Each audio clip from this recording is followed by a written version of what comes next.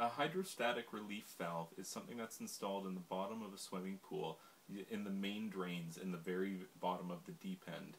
What it is is a spring actuated one way valve which allows water that is underneath this in the ground underneath the swimming pool to actually be vented into the swimming pool water should the, the water table outside the pool rise enough that it could create the potential for the pool to want to displace and lift out of the ground.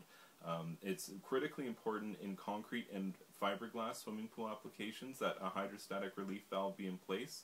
Uh, failure to have one could in fact cause the pool to lift out of the ground completely and this would ruin the entire installation costing uh, maybe even twice as much as the original installation uh, to begin with cost to repair the situation.